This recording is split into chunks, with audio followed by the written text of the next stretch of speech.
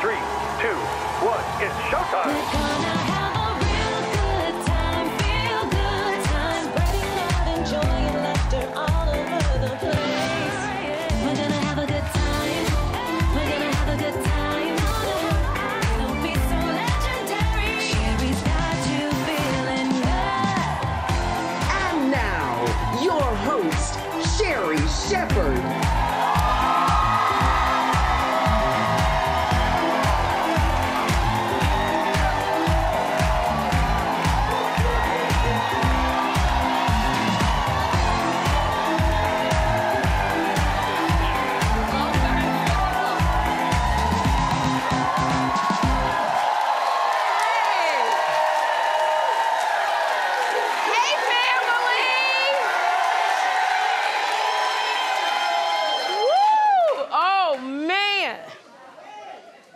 A good day tiptoeing through the tulips. That's what I feel like. This Willie Sinclair the third from the Milwaukee Sinclairs. Some, he just, he didn't want summer to end, so he decided he wanted to make me look like a tulip. So that's what he did. Ha! Hello, Jawn. Hello, hello. Very Patti LaBelle, LaBelle vibes. Like that Oh, the Patti look. LaBelle. Yeah. I'm not go- I'm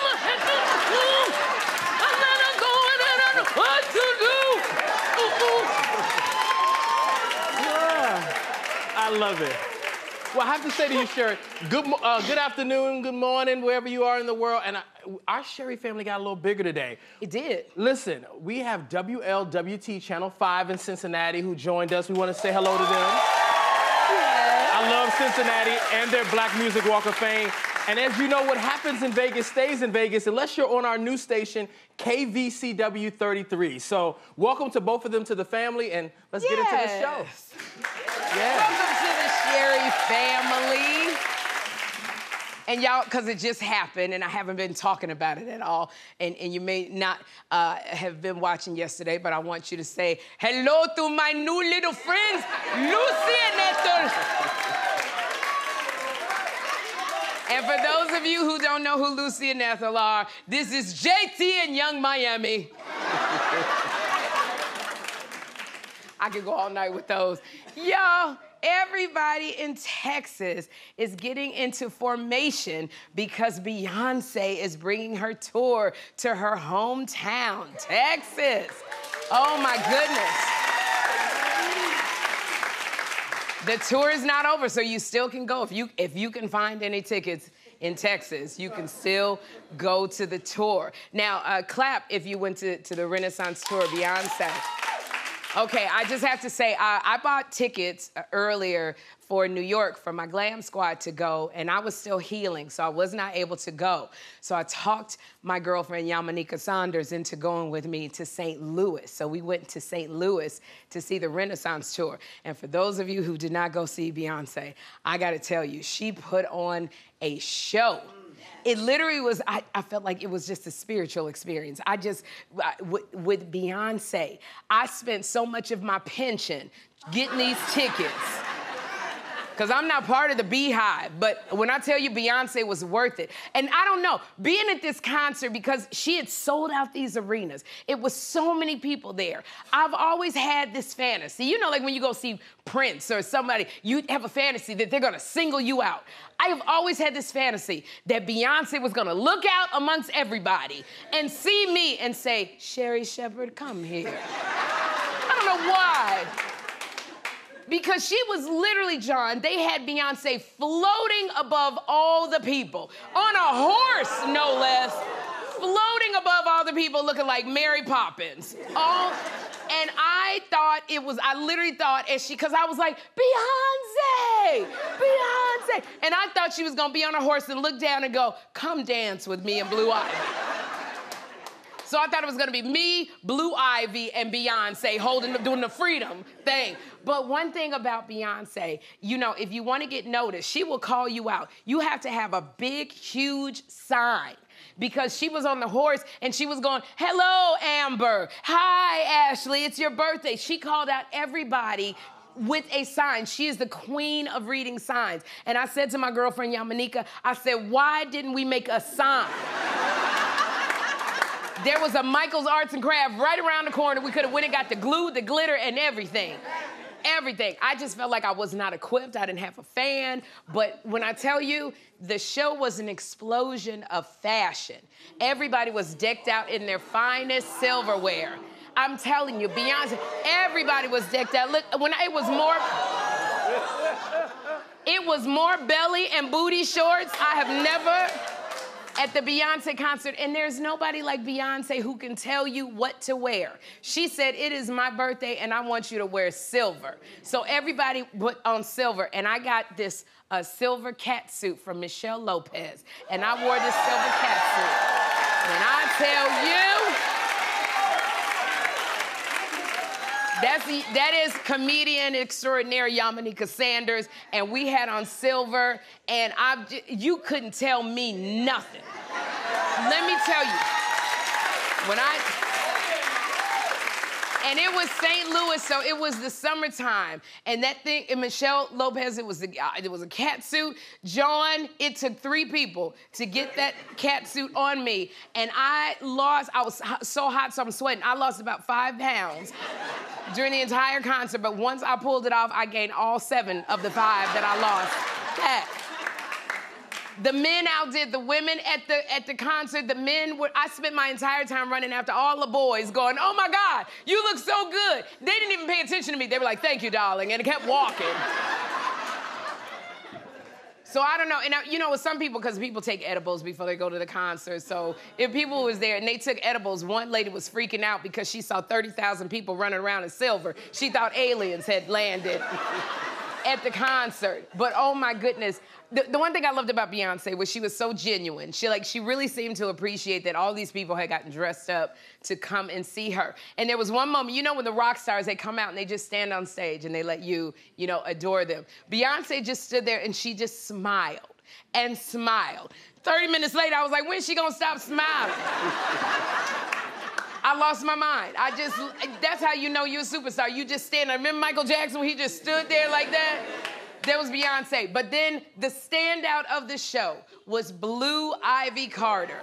When I tell you she stood up, I was like a proud auntie. When she came up, I said, Go, niece. And she did. She started dancing with her mother. And you could tell Beyonce was so enjoying Blue Ivy. And they danced together. And I went home and I woke Jeffrey up out of a dead sleep.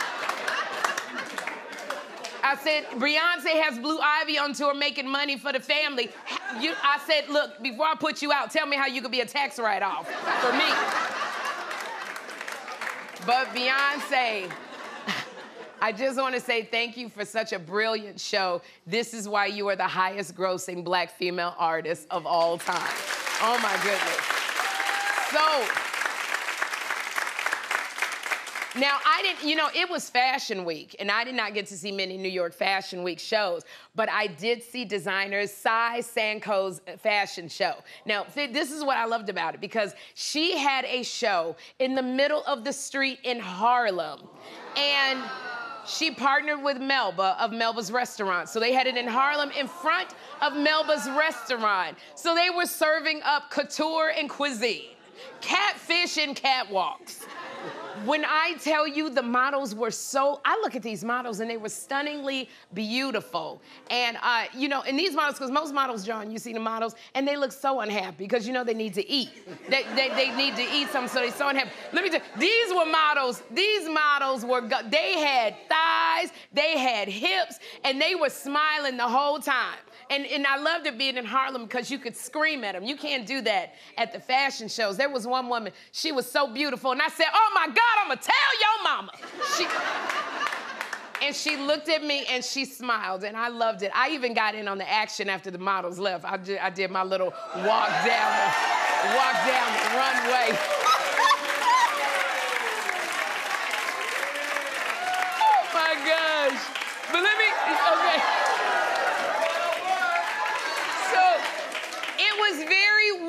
out there.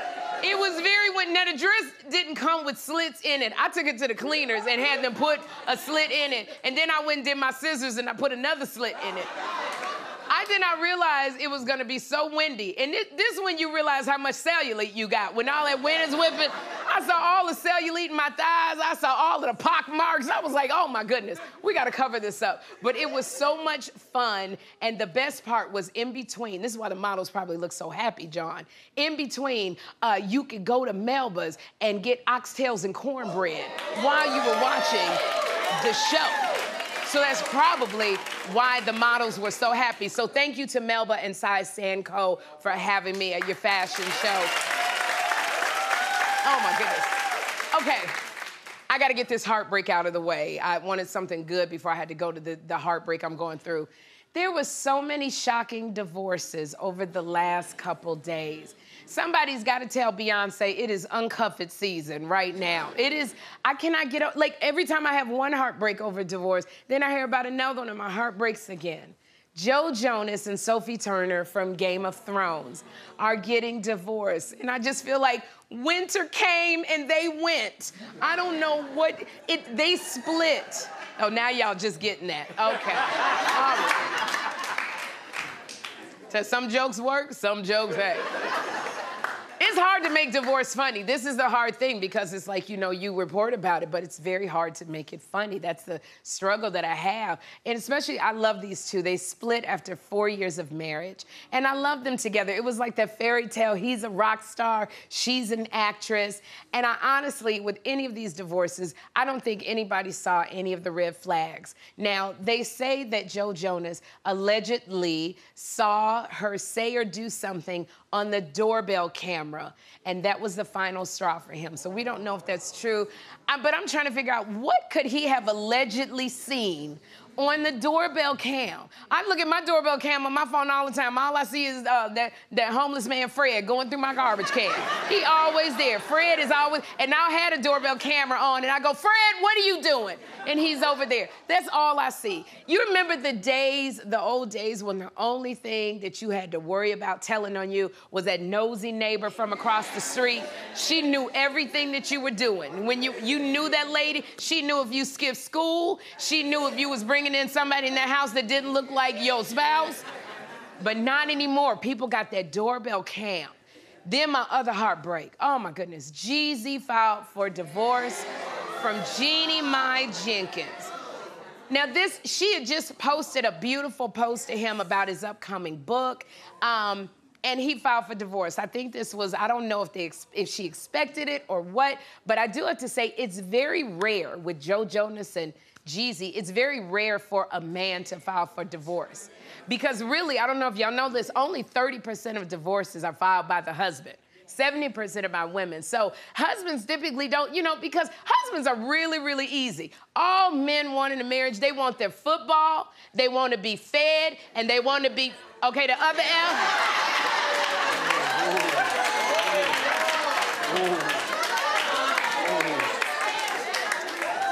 This is what I say. If you want to know what that F is, go ask your mom. That. So the fact that he and we don't know what happened, I don't even want to speculate. It's just so sad because they got the little girl Monaco, and I hated to hear this. Uh, this is another one that I hated to hear. Uh, Iman Shumpert and Teyana Taylor are also splitting. I don't like reporting this stuff, but it's like in the news. But th- these two seem like such a good match together because they've been together for 10 years. They were married for seven. They have two beautiful kids. Remember, Jawn, they had a reality show. Iman did Dancing with the Stars. Teyana was in like a really wonderful movie that I saw.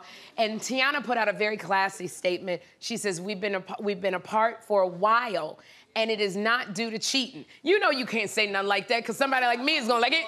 That's the first thing I go to. But Teyana said it's not due to cheating. I'm taking word for that. Her statement was very classy. She says that they are remaining the best of friends. They're still gonna raise their babies together.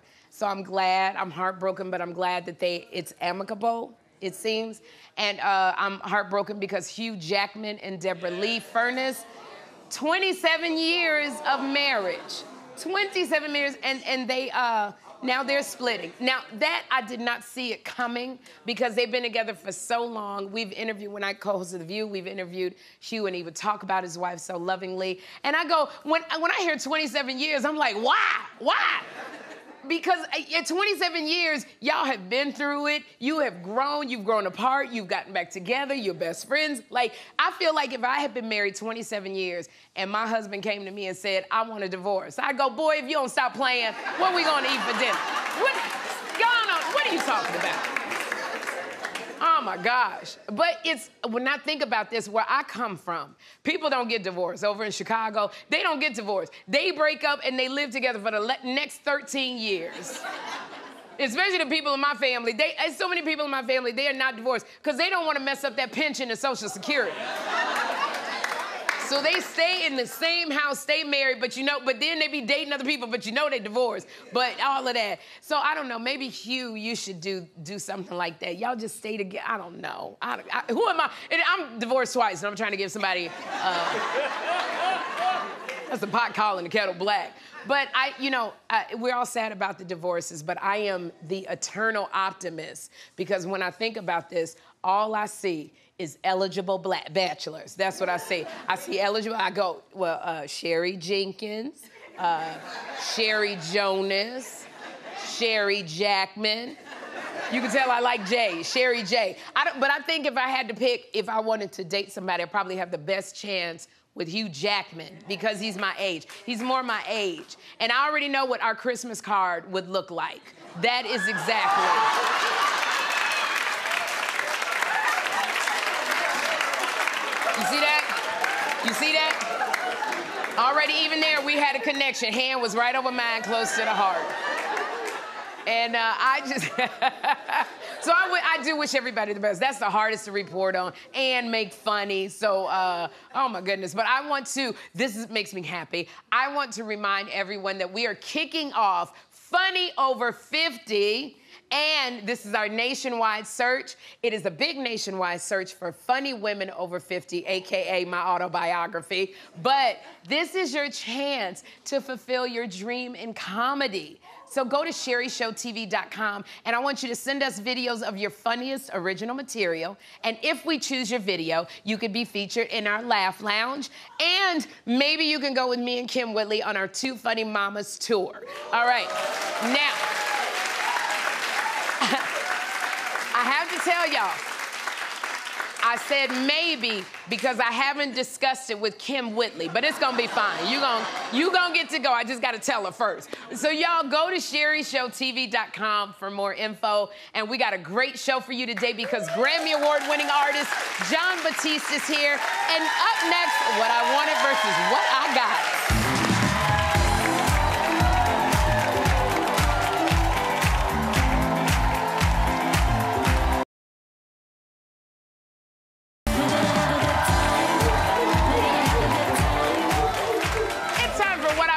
Versus what I got. So our first one comes from Reese, who ordered a Beyonce Renaissance hat because she had FOMO when she couldn't get tickets to the concert. Here's the hat Reese wanted. Love it. I got the same one. Here's the hat Reese got. Ooh. Ooh. Girl, I know you wanted to go to the Renaissance tour, but in that hat, it looks like you went back in time to the Renaissance. Aye, aye, Captain. Our next one comes from a viewer who wanted a superhero figurine for their collection. Here's a figurine they wanted. Okay, here's the figurine they got. Ooh. Okay, look at the, he holding his ear, he holding the stomach. That superhero is not saving anybody. In fact, I think he needs an ambulance. Is he all right? Oh my gosh. Okay, our next fail comes from Laura Lee, who wanted a monster cake for an upcoming birthday party. So here's a monster cake that Laura Lee wanted. And here's the monster cake Laura Lee got. Oh, oh. Okay, now that is what I call a scary monster. Now, our last one comes from Kimberly, who ordered a wig for those bad hair days. I got it. Yes, I know. Here's the wig she wanted. Oh, no, that's cute. Here's the wig she got. Now you talk about a hard knock life. What in the orphan Annie is on top of her head? If you have a funny fail you'd like to share, go to SherriShowTV.com. And later in the show, the very funny Brad Williams is in my laugh lounge. But up next, award winning musician Jon Batiste is here.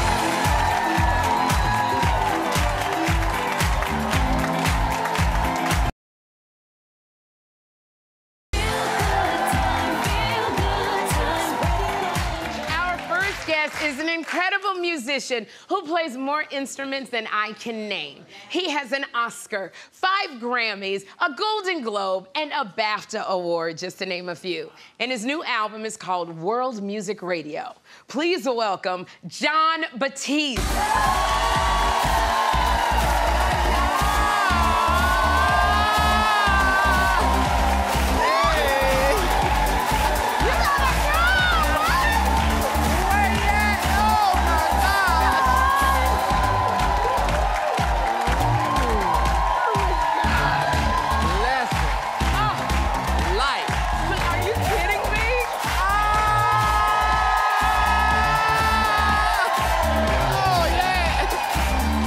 Got a good vibe You better dance. Wow. When I tell you, because you walk out here in the pride, we are so proud of you. Oh my goodness. That is why you have so much energy and love when you come. You can't help but dance when you come out Can't here. Help it. You gotta move. That's right. Yes. You know what? Speaking of moving, because I moved to your music, you are so accomplished, Jon. You I mean, even you won a V on the VMAs. You won the VMAs. You won an award last week. Congratulations to you. Oh. Like, because I had already given the intro. Okay, so when you win these awards, they actually give you an award. So you've won all these awards. Where do you keep all those awards? I have, you know, I have them all around the house, and my family's still back in New Orleans. I have some in New Orleans, some Okay. in New York.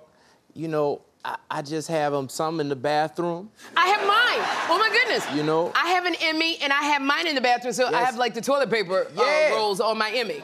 It's, Or my wigs. I hang my wigs on them. It's very beautiful and decorative. Yes, it is. You just put it up there and you look at it, you're like, man, you're taking a bath, Uh huh. and you like, I done won that thing.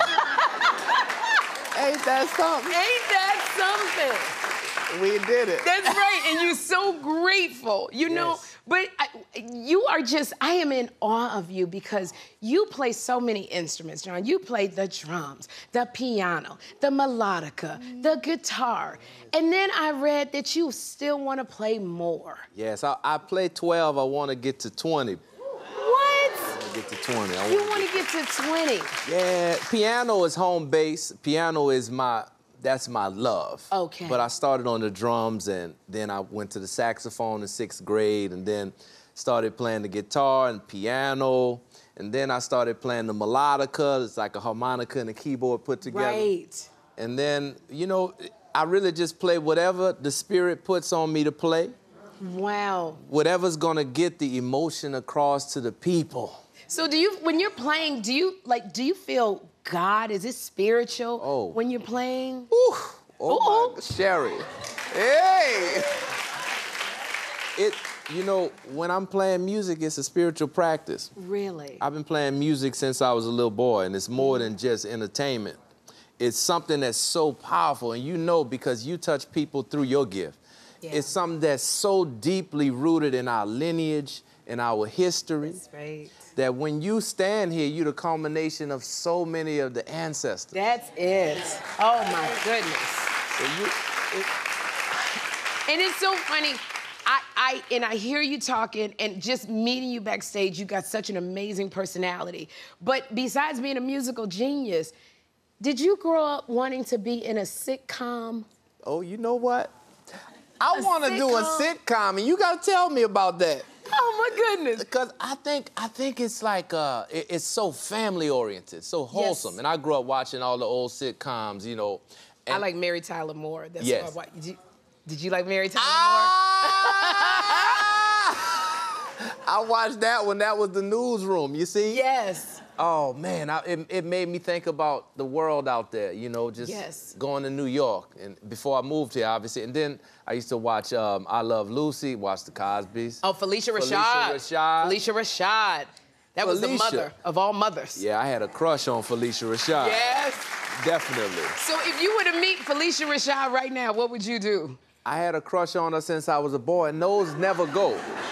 You, they, they never leave you. It feels like you're a little boy. Every time I see her, I'm like, I don't even want to go over there.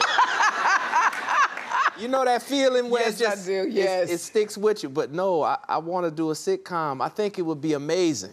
You would be. You have that spirit to do a sitcom. You would be very funny uh, in a sitcom.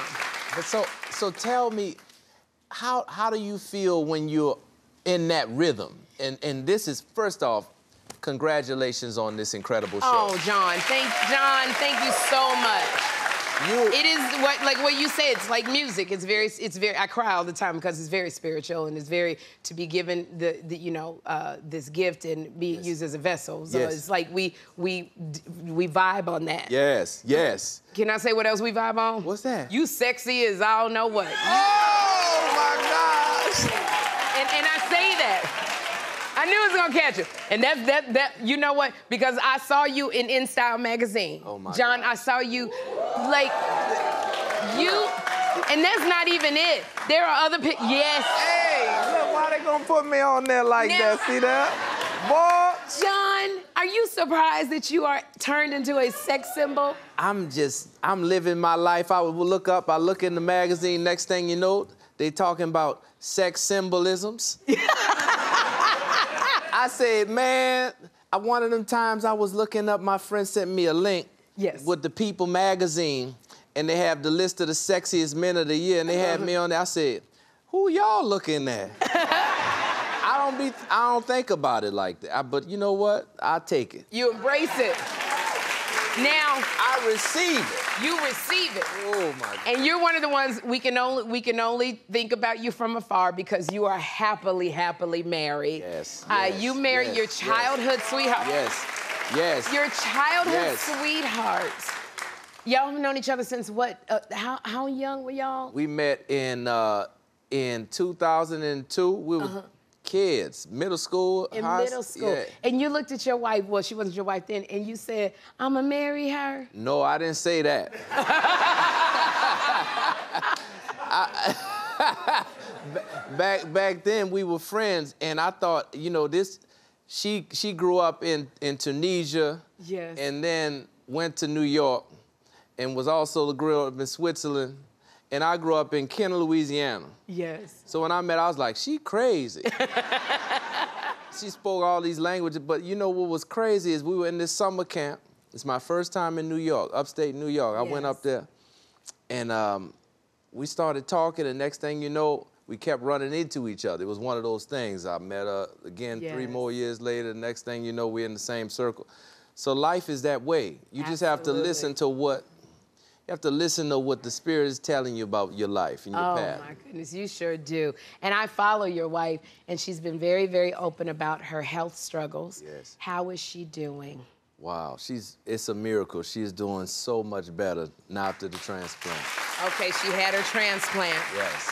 It it when you get that close to the veil of life, you realize how much really matters. That's right.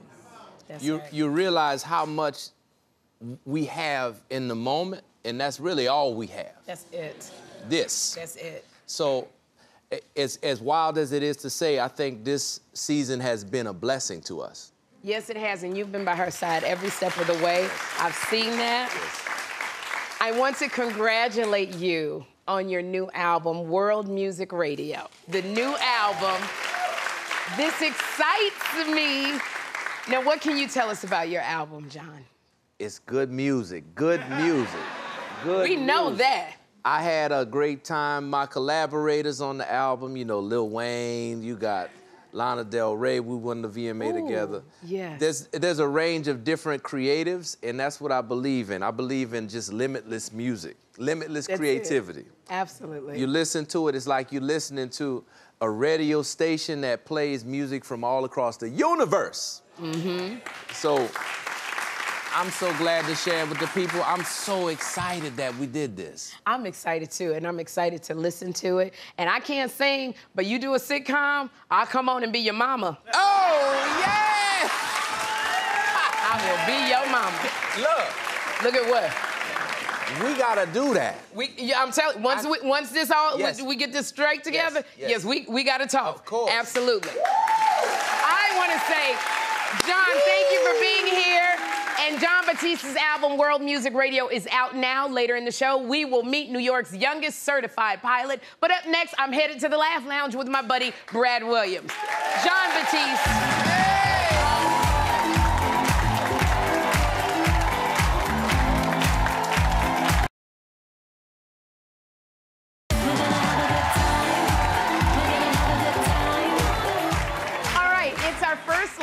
Of season two, and we are bringing the funny with a very good friend of mine. Please welcome the hilarious Brad Williams. Hey! Brad, Sherri! Great. Thanks for having me on the show. You took two dwarves on your chest and then you put one in the studio.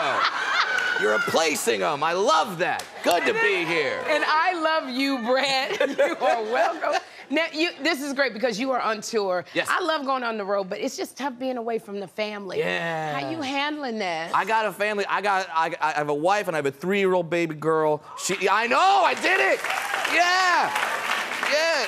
It, it, it's very. It's very hard being on the road, but thankfully I've been there for a lot of those big moments for her. Right. I was holding her when she said her first word. Her, her, her first word, she just looked at me and she went, "Daddy," and I'm like, ah! She knows who makes the money. Yes, Ah, right. it's awesome. No, she said daddy first, and then we, then, then we tried to get her to say mommy next. It's a very Yeah. logical next word. Would have made my wife really happy. You say daddy, you say mommy. Couldn't say mommy. Uh, ne- uh, next word she said was the dog's name. Okay. Yeah, my dog's named after my favorite football player, D'Brickashaw Ferguson. she said, Rolled right off the tongue. Uh, couldn't say mommy. Couldn't pronounce the M. Her M came out like a B. Like a B. So she called my wife Bob. Okay. Thanks for laughing. I laughed every single time it happened.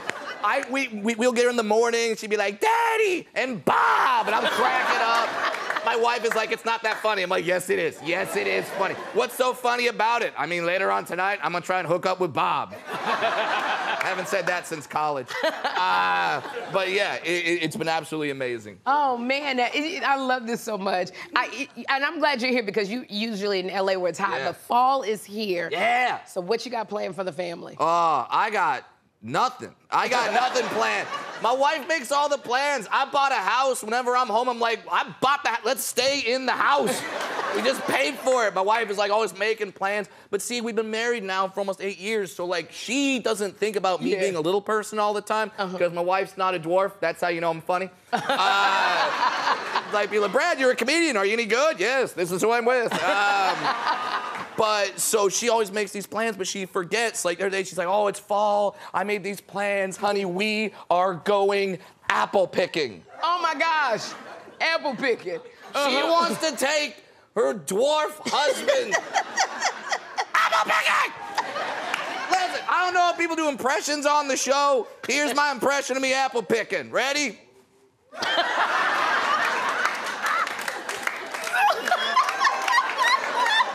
Why apples? Oh. Why not strawberries? That would have made sense. I could have been an ass. Run, drag my arm, get them all, one shot. that would have been great.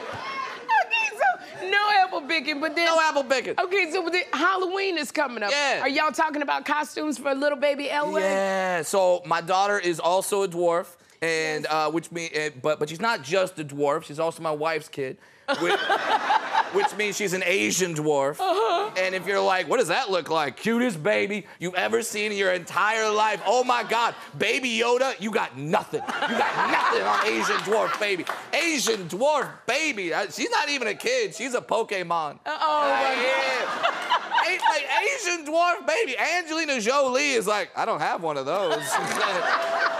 I can't wait for Halloween. What I so much I love I love about you. I love your relationship with your family. I love your relationship with your wife. Yeah. Do y'all have nicknames for each other? Yeah, the one the one I call her I can't say on daytime TV. Okay. Uh, but she's been calling me Short King. Short- Apparently that's like a thing. Like, yo, you're a short king. I don't think that's a compliment. Be like, oh, Brad, you're a short king. Great. You just called me a chess piece. Like, no, you're a short king. All right. Now I'm the villain from Shrek 1. like, nobody wanted to hook up with Lord Farquaad. All right. You gotta change the nickname. Oh my gosh, Brad, I'm so glad you came. Thank you for saying yes to me. Yes. Y'all give it up for Brad Williams. Yeah. And for more on the Brad Williams Comedy Tour. Go to SherriShowTV.com. And up next, we shout out New York's youngest black female certified pilot. Keep it here, Brad Williams.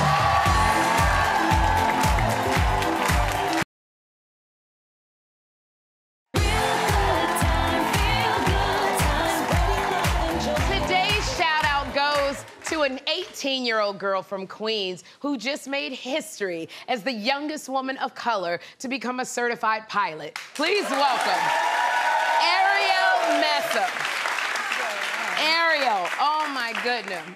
Goodness, Messam is your last name because I was thinking, don't mess with her. Um, congratulations on making history. Now, you got certified all while going to high school and playing va- uh, varsity basketball, all of that at the same time. Oh yeah, and there's plenty on top of that too. I was also in Air Force Junior ROTC, and it was just you know a lot to tackle while I was flying. But I like to be involved in everything. Oh my gosh. This is so, it's just so awe inspiring talking to you because you took your first flight at 14 years old. What, what in the world made you want to become a pilot as opposed to like a basketball? You know, you were doing basketball and everything else. A pilot? Yeah, so it's a few different things actually. So it runs in the blood. My dad used to be a pilot uh, back in Jamaica. Okay. And um, one of my brothers introduced me to the Minnesota Aviation Career and Education Camp program, and that's where I took my first flight. And then my other brother Anthony, who's here today, Where's Anthony S? Anthony, hey, look at it. he also um, introduced me to aircraft maintenance. So Wow. not only do I fly planes, I fix them as You know how to fix a plane too. when I tell you I'm going home and I'm snatching every video game out of my son's room, this don't make any sense. Now I have to say, most teens your age, they're already driving, but you prefer flying over driving. 100%. What's it like up there in the sky when you're flying? It's exhilarating. You just get this huge adrenaline rush, and I think the best part is the takeoff because you just Really? put full power, and then you're waiting for 60, which is my rotation speed. You pull up, and we're off the ground. Oh my goodness. so, I love you. When you're out there, do you hope to inspire other girls to become pilots? Yes, so I document my journey on Instagram, TikTok, and Yeah. other social media platforms because when I first started my journey, I didn't really know who to look to or exactly how I should start or go Right. from zero to, okay, now I'm fully in the flight training journey. So by me documenting what I'm doing, I am giving other girls the opportunity to say, hey, she's doing it. It's possible for me too as well. And it doesn't matter what age. It doesn't matter. Yes, of course. It doesn't matter what age. Okay, so now you're licensed, you can fly. What's next for you? So in order to become an airline pilot, you need about five different licenses. So I got my private. The next one I'm working on is my instrument rating. And what's that? Uh, the instrument rating is just so that you can fly without looking outside. So- Okay, wait a minute. That's the wrong thing to tell me. you gonna fly and you're not gonna look up and see if it's raining or cloudy or, you know, another plane coming towards you? Did your brother teach you that? What, what, how does that work? So we have our instruments on the instrument Yes. panel right in front of us. So all you do are look at your gauges, and that's all you need And to then you know. And I believe you can do it. I absolutely believe you can do it. Thank you so much. I want to tell you, Ariel, congratulations on everything. And no pilot is complete without their captain's cap. So we're giving you your own Sherri air hat and wings. Because you're going to be cute. You're going to be cute flying. And to help you with your flight lessons, we're going to give you a $500 cash gift card to go towards your lessons. Oh my Thank you, Ariel Messam, for being here. And up next, a lucky super fan has a chance to win $2,000 in our money booth. Keep it right here. Ariel Messam.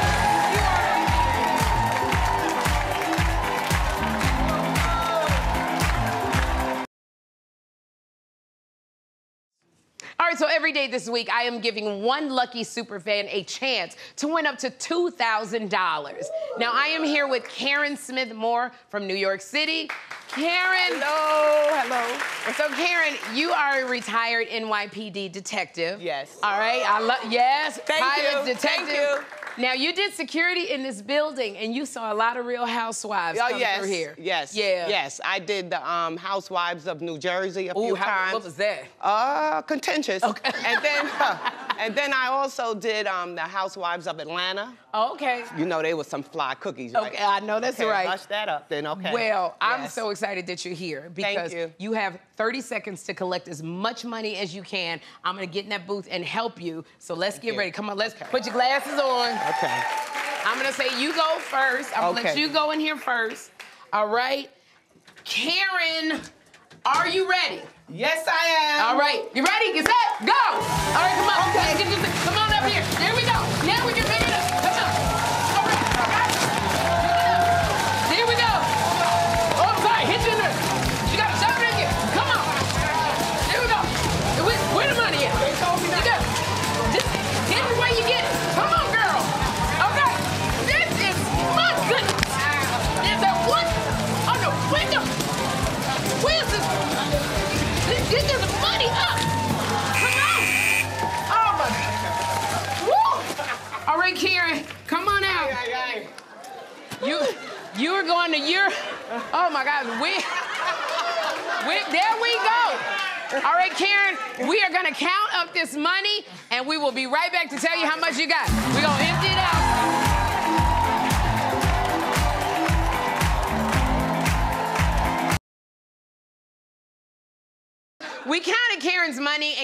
$1,879. Tomorrow, Julie Chen Moonves will be here, so come join us then for the best time in daytime. Bye.